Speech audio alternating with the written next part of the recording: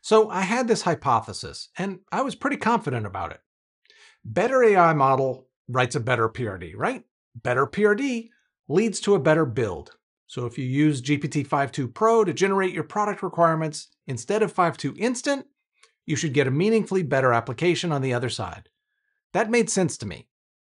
So I tested it. Same app, eight different models generating PRDs. Everything from GPT-5.2 Instant all the way up to 5.2 Pro. Then I fed every PRD into the same build system, Claude Code with Opus 4.5, in planning mode. Same builder, same process, every single time.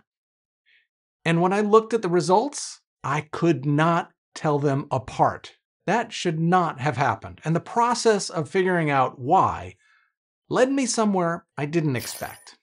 Okay, here's what I was building.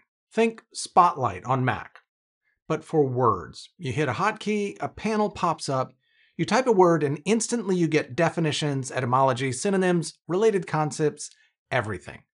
If you misspell something, it catches that and shows you what you probably meant, even with little hints to describe the problem so that maybe you'll learn how to spell it next time. But here's the thing. It's not just dictionary words. Type apple and you might mean the fruit or maybe the company. The system needed to understand that context and show you both interpretations and kind of let you explore deeper. That was really the whole point. So I recorded a 15 minute uh, kind of voice memo describing what I wanted, all of the features, how it should feel, the experience I was going for, and that became what I call my intent document. Then I gave that same document to eight different models with identical instructions, basically turn this into a PRD, which is just a product requirements document or kind of the, the structure document, the spec that you might hand to a development team actually.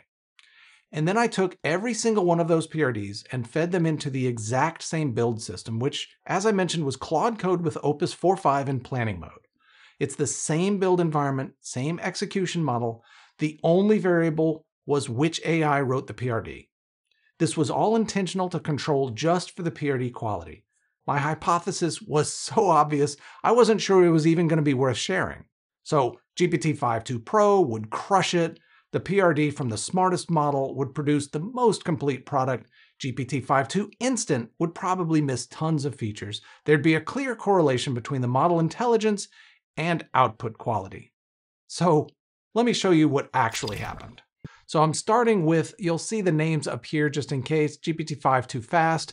This is that instant model. If you go to ChatGPT and choose instant, this is what you'll be running. So it comes back super fast and gives you a, a, a, reasonable response, but you wouldn't expect it to be a great PRD. And if we come in here and search for something like horse, you'll see what it's trying to do is it's giving us horse with common misspelling here, and it will tell us that this is showing us the results of horse, even though we had typed something else in. It is not giving us a definition of what changed. That's one of the things that we're really looking for is if you type in a misspelling, this one does correct for it as you can see, but also if you type in a misspelling, it should show you what you misspelled to help you next time. All right, the next one is from Sonnet. You can see once again, horse, horse is corrected. It just shows us the results from horse itself. Excellent. And how about from GPT-5 to thinking? So this is kind of the thinking model that you would go to if you went to ChatGPT. You can see here we're starting to see a little bit of the call out that I had in the actual original request that I wanted to see what was typed in and what the difference was. And in fact, this one goes so far as to kind of give us an inline diff, character inline diff, which is nice. All right, all the way down to this is Opus 4.5. If this one gives you that it's corrected, it doesn't call out what was corrected necessarily. And then something like GPT-5.2 Pro finds hours, does not find horse. So this, by the way, this is the Pro model. This one took about 15 minutes. And the first one that we showed, oh, excellent, there you go. The first one we showed took about 15 seconds. So GPT-5.2 Instant took less than 15 seconds. This one took more than 15 minutes. And disregard the errors, who knows? I give uh, a little bit of an allowance for if it didn't build immediately on first delivery. So I did work with some of these and maybe I missed the mistake here for misspelling. No big deal. All right, I know that seems like enough. You can kind of see from instant all the way up to pro, but I went a little bit further. So let's imagine that you just took your request, that 15 minute conversation that I had with myself, kind of meandering around all the different features I wanted, and I went directly into Claude Code and put it directly into planning mode, what would happen? This is that version. So this one keyed in on a little bit something different that was in the system at one point, which was trying to immediately find uh, information with a local dictionary. So it can't find H-O-U-R-S-E, which is a misspelling of horse. I haven't said that yet, but that's really what we're trying to do here. But it can find these others. It's a little tricky, but it absolutely, of course, works. And okay, how about even crazier? You thought that one was crazy. I just took my request, no PRD, directly to planning mode. We got what we just saw. And now I said, to heck with a plan. If these things are so so good, let's just go direct to execution. So I took what I had that conversation about 15 minutes, put it directly into execution, no planning mode with Opus 4.5 and said, boom, build it. This is what happened. Now, admittedly, this one I want to call out. I think this is a change to uh, Opus or to Claude Code that is really very valuable. Claude Code is now kind of looking around for things that it doesn't understand, and then it goes into planning mode. So I think what's actually happening underneath the covers is it actually does go into planning mode, ask questions, do the normal things that planning would normally do. So there might not be a real direct execution if you put something this complicated in. That's the reason I think this happens. However, by the way, this is one of the best looking ones. So most important, I'm looking at these nine builds and I can't tell you clearly which one came from Pro and which one came from Instant. That was the real hypothesis. There are differences. Some missed things that other hit, and some missed more things than others altogether.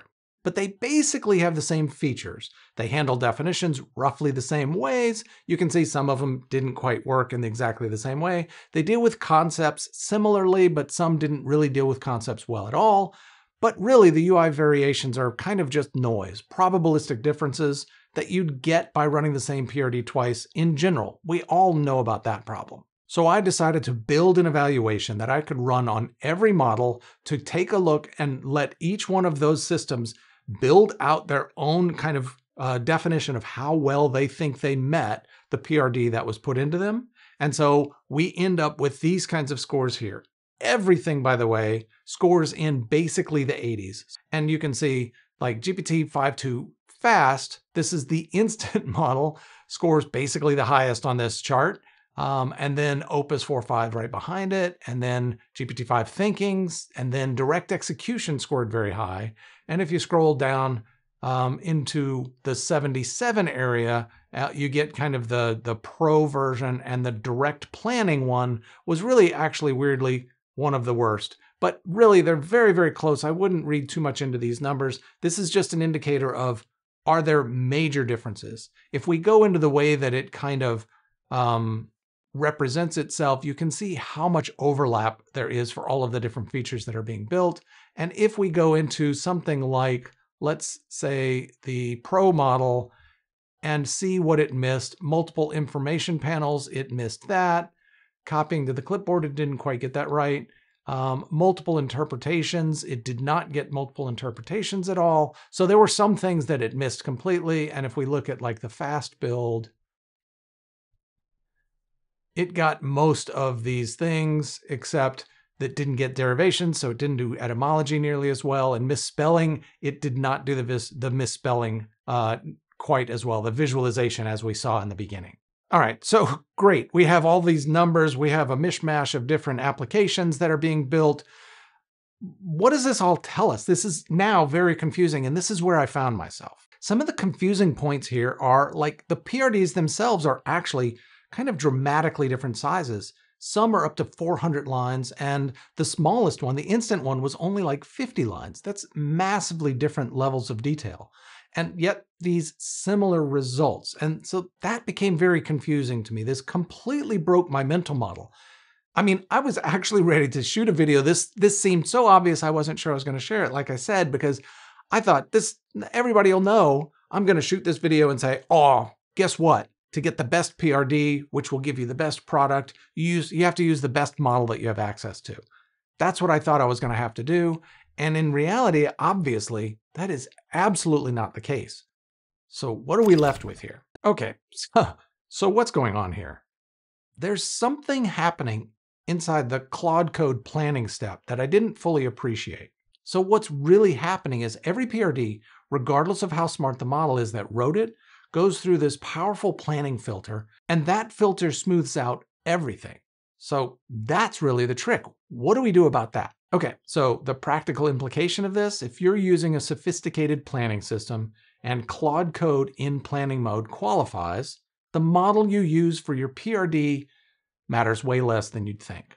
This is actually great news for everyone. If you don't have access to GPT-5 Pro or something like that, you're perfectly fine. Use a pretty good model and you should be able to get a pretty good PRD out of it, and something like Opus in planning mode will take care of the rest. If you want to use the free tier GPT or Gemini, any frontier model that's doing some kind of thinking will probably do exactly what you need. But here's where I wasn't exactly satisfied, because roughly the same obviously isn't exactly the same. And I kept wondering, what if the problem isn't model intelligence? What if it's something else entirely? I had a theory. The issue isn't how smart the model is, the issue is how much intent survives the translation. Look, when you describe what you want to an AI and ask for a PRD, something's bound to get lost. And really, it's almost always the why behind your features. You know, that feeling you were going for, the stuff that's kind of hard to specify, but really easy to lose. So I created a new version of my request with the same intent document, but I added several paragraphs at the end.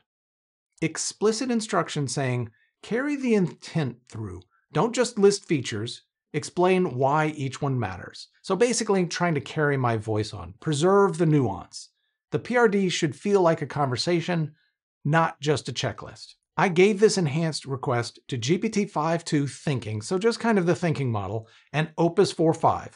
And this time something different definitely happened. When I ran the evaluation, GPT-5.2 Thinking scored about the same as before, mid-80s.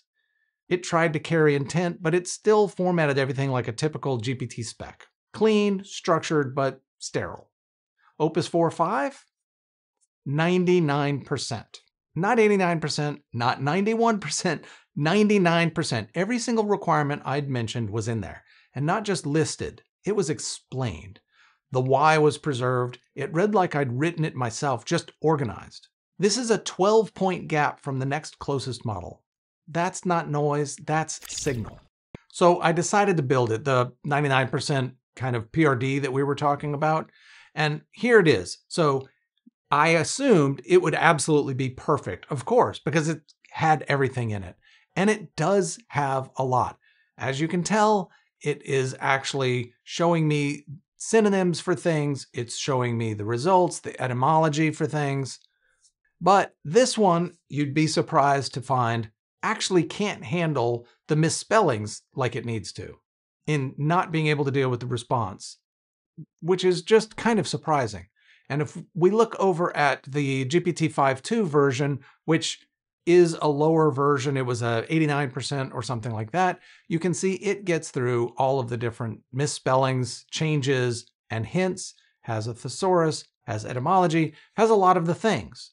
But the problem is, it really is still missing quite a bit. And when we talk about especially something like this one here, it definitely doesn't hit all of the marks, all of the 99% items that are inside of that PRD. We know for a fact inside of that PRD, it's got everything it needs. And it still turned out like this. So what was going on here? 18 items were missing. Not small things. Word of the day integration, missing. Sound effects, gone. Auto dismiss behavior, nowhere.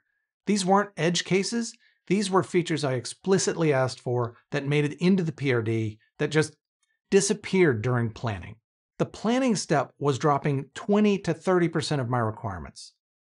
Not because they weren't clear, not because they were unreasonable, they were just lost. So I ran it again. I gave Opus the plan it had written, the original PRD, and said, find everything in the PRD that's not in the plan, and give me a fallout list. Then update the plan to include those items. After the second pass, 8 items were missing instead of 18.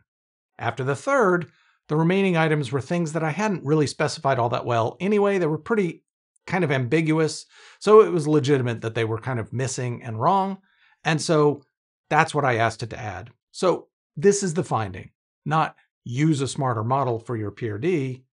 The finding is your planning step is probably dropping a quarter of your requirements and you don't even know it. Okay, and so here we are. This is the version of the application as the, uh, you know, as we've triple planned it and kind of come out with a full blown version and iterated on it a little bit. So this is what the application looks like. It has a lot of the features that we would anticipate at this point that you can see all of the different aspects of the original request inside of it. And I wanted to kind of very briefly, once again, describe to you the pattern that got me to this versus any of the previous planning builds. So essentially, I make sure that I carry intent over into the PRD. I think that's a critical aspect that I will be talking about more on this channel very soon. I'm very interested in intent, but we need to make sure that intent isn't scrubbed away when we're building our plans, that PRD. Once we get that PRD into the system, I allow it to plan against it, and then I say, okay, you think you're done planning, compare yourself against the PRD, make sure you're covering everything. I do that once or twice, then you're going to have a completed version of a plan. Now, what I believe is that they should be adding this into the planning mode into, into something like Claude Code and Cursor and other tools when they talk about planning. They should be able to evaluate against the original request. That should be a straightforward thing to do to make sure that the plan that they've created kind of considers everything that they were asked to do. It's kind of surprising that they're not doing that. And that's where I found myself. And that's exactly where we are, which is, oh wow, the planning mode was actually the problem. It was scraping off all of these edges and I didn't know it. What actually matters here is getting your intent to survive the journey and then verifying that nothing got dropped along the way. Your intent is the actual you in all of this. The gap between your best idea and what gets built isn't about using GPT-5 Pro versus 5.2 Instant. It's about the silent losses at each handoff. The intent that doesn't make it into the PRD, the requirements that don't make it into the plan, the features that don't make it into the build. So basically, check your work at each step. That's it. That's the finding that three days of building the same app like nine times actually taught me. Look, if this changed how you think about AI assisted development, let me know in the comments. I'm curious whether you've seen similar patterns or this is new to you. And if you're building with AI tools regularly, subscribe. I'm doing more experiments like this all of the time. I can't seem to stop.